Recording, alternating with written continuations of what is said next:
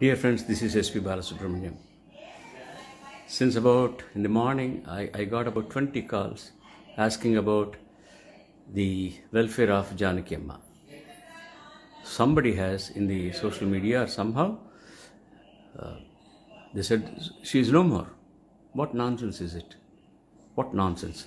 I talked to her and she is doing very, very, very well. You see, what, what happens is if people love some artists to the core, they may have a heart attack. Please use social media for positivity. Don't make fun of these things. Don't utilize social media for uh, adverse things.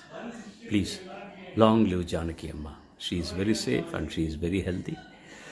Yeah, why do you do all these things, gentlemen? Shall I call you gentlemen? God bless us all.